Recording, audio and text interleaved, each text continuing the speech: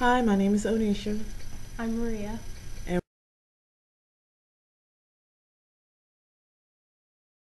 we're going to be doing the circulatory system. The circulatory system is responsible for transporting materials throughout the entire body. It transports nutrients, water, and oxygen to your billions of body cells and carries away waste, such as carbon dioxide, the body cells produce. It is an amazing highway that travels through your entire body, connecting all your body cells. Parts of the circulatory system are divided into three major parts. One, the heart, two, the blood, and three, the blood vessels. The human heart is a fist-sized organ contained inside a sac called pericardium. It is divided into four chambers, two upper chambers termed atria and two lower chambers called ventricles. Through rhythmic contractions and relaxations of cardiac muscles, the two major functions performed by the heart are 1. Collecting deoxygenated blood from the body and pumping it to the lungs for oxygenation. This is achieved through the pulmonary circuit, which includes the right atrium and ventricle.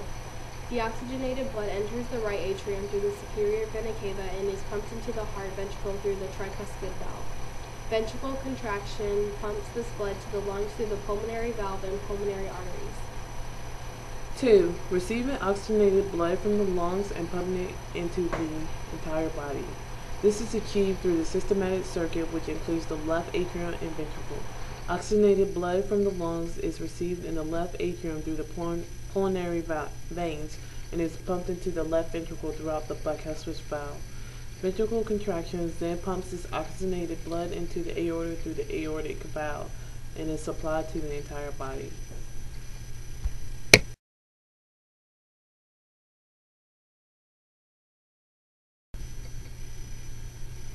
Blood is a type of fluid connective tissue and comprises an array of cells called plasma.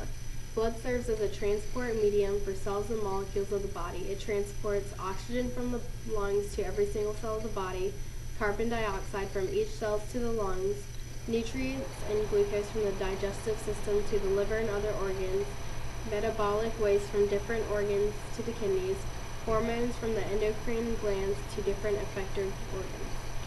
Apart from transportation, the components of blood plays an important role in several homeostatic mechanisms including the regulation of body temperature, food and water balance, iron content, osmotic balance of cells, and etc.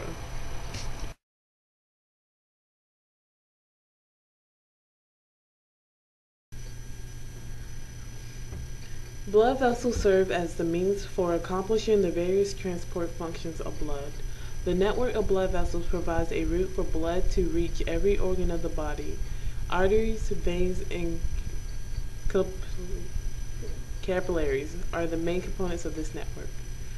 Arteries are the vessels involved in transport of oxygenated blood from the heart to different organs through its branches called arterioles. Veins, in contrast, collect deoxygenated blood from the different organs through branches termed venules and carry it back to the heart. Capillaries are the thinnest blood vessels and connect the venules and arterioles. It is the capillaries which serve as the actual site for exchange of nutrients between blood and tissues.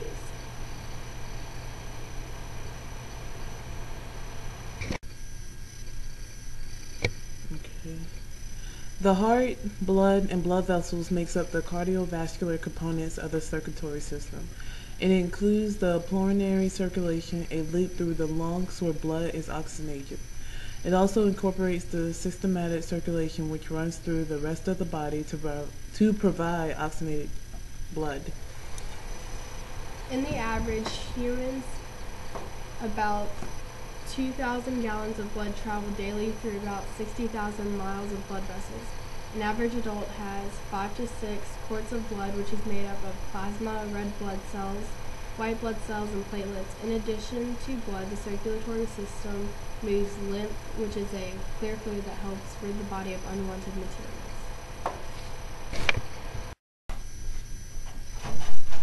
There are three types of blood vessels arteries, capillaries, and veins.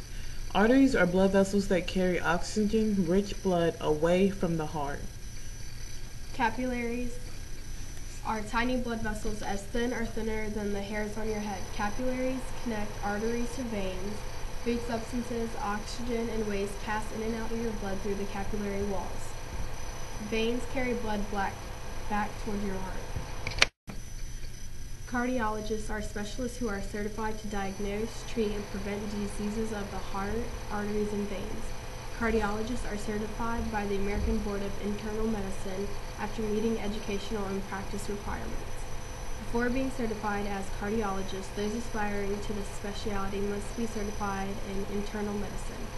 Then, cardiologists can become certified in one of several cardi- cardiology spec- subspecialties, including transport cardiology, cardiovascular disease, clinical cardiac electrophysiology, and interventional cardiology.